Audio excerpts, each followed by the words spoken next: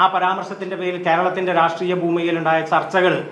അങ്ങനെ ഒരു സാഹചര്യം ഇ എം എസിന് മനസ്സിലായ മാഴ്തനിയെ പി ജയരാജന് മനസ്സിലാകപ്പെടാതെ പോകുന്നതിന്റെ രാഷ്ട്രീയം നമുക്ക് മനസ്സിലാകുന്നില്ല. സംഘപരിവാർ തുടർച്ചയായി ഈ പുസ്തകത്തിൽ തന്നെ അതിന്റെ ഇരുന്നൂറ്റമ്പതാമത്തെ പേജിൽ ഒരു പരാമർശം അബ്ദുനാസർ നാസർ മാഴദനിയെ അക്കാലഘട്ടത്തിൽ തീവ്രവാദത്തിന്റെ ബ്രാൻഡ് അംബാസിഡറായിട്ടാണ് പരിചയപ്പെടുത്തിയിരുന്നത് അല്ലെങ്കിൽ പ്രചരിപ്പിക്കപ്പെട്ടിരുന്നത് എന്ന് അദ്ദേഹം പറയാൻ. തീവ്രവാദത്തിന്റെ ബ്രാൻഡ് അംബാസഡറാണ് അബ്ദുൽ നാസർ മാദനി എന്നിവിടെ പറഞ്ഞിട്ടുള്ളത് സംഘപരിവാറാണ്.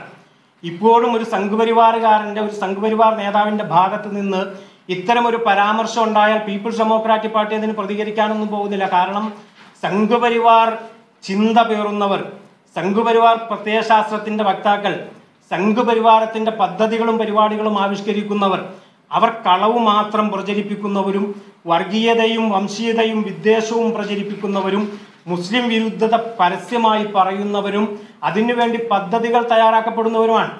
അവരാണ് അങ്ങനെ ഒരു എന്താ പറയുക ഒരു വാക്ക് അതിൽ അങ്ങനെ ഒരു പ്രസ്താവന കേരളത്തിൽ നടത്തിയിട്ടുള്ളത്.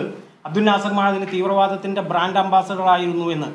ആ വാചകം പി ജയരാജൻ എന്ന് പറയുന്ന ഒരു കമ്മ്യൂണിസ്റ്റ് നേതാവിന്റെ പുസ്തകത്തിലൂടെ പുറത്തേക്ക് വരുമ്പോൾ സംഘപരിവാരുകാരൻ അത് പ്രചരിപ്പിച്ചാൽ ഈ നാട്ടിലുള്ള ആളുകൾക്ക് സാധാരണക്കാരായ മതനിരപേക്ഷ ജനാധിപത്യ വിശ്വാസികളായ പൊതുസമൂഹത്തിന് അറിയാം. അത് അവരുടെ രാഷ്ട്രീയവും അവരുടെ പ്രത്യയശാസ്ത്രവും അവർ പ്രചരിപ്പിക്കുന്നതാണെന്ന്. പക്ഷേ മതേതര പക്ഷത്ത് നിൽക്കുന്ന ഒരു മനുഷ്യന്റെ ഭാഗത്ത് നിന്ന് അദ്ദേഹം പുറത്തേക്ക് വിടുന്ന ഒരു പുസ്തകത്തിന്റെ രചനയിൽ ഇത്തരമൊരു പരാമർശം നടത്തുന്നതിലൂടെ വരുന്ന തലമുറ ഇത് പഠിക്കുമ്പോൾ വിശ്വാസയോഗ്യമായ ചരിത്രത്തിന്റെ പഠനം എന്ന നിലയിലാണ് അദ്ദേഹം എഴുതിയത്. അദ്ദേഹം ചരിത്രം എഴുതാൻ അദ്ദേഹത്തിന് ഇത്തരം ഒരു ചരിത്രം എഴുതാനുള്ള യോഗ്യതയാണ് നമ്മൾ ചർച്ച ചെയ്യപ്പെടേണ്ടത്.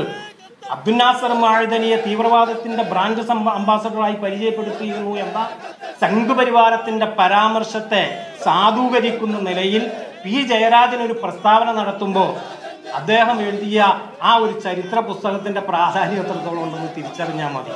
ഇത്രയും കളവ് പച്ചക്കള്ളം പ്രചരിപ്പിക്കുന്ന കേരളത്തിന്റെ ഭൂമികയിൽ കേരളത്തിന്റെ ആഭ്യന്തര വകുപ്പിന്റെ കൈവശം കേരളത്തിന്റെ സർക്കാരിന്റെ കൈവശം കേരളത്തിലെ പോലീസ് സംവിധാനത്തിന്റെ കൈവശം അബ്ദുൽ നാസർ മാഴുതലി തൊള്ളായിരത്തി തൊണ്ണൂറ് കാലഘട്ടത്തിൽ പ്രവർത്തിച്ചിരുന്ന ഐ എസ് എസിന്റെ കാലത്തെ പ്രവർത്തനത്തെക്കുറിച്ചും അതിന്റെ പേരിലുള്ള കേസുകളെക്കുറിച്ചും സംവിധാനങ്ങളെക്കുറിച്ചും അബ്ദുൽ നാസർ മാഴുതനിയുടെ സംഘടനയുടെ പേരിൽ ആയുധങ്ങൾ ഒരുമിച്ച് കൂട്ടിയിരുന്നുവെന്നും ആയുധ പരിശീലനം നടത്തിയിരുന്നുവെന്നും ആ പുസ്തകത്തിൽ പറയാൻ അബ്ദുൽ നാസർ മാഴുതനിക്ക് പേരിൽ പുസ്തകം കത്തിച്ചുകൊണ്ടാണ് പി ഡി പി പ്രതിഷേധിക്കുന്നത് വലിയ വിയോജിപ്പ് വിമർശനം ഉന്നയിക്കുകയാണ്.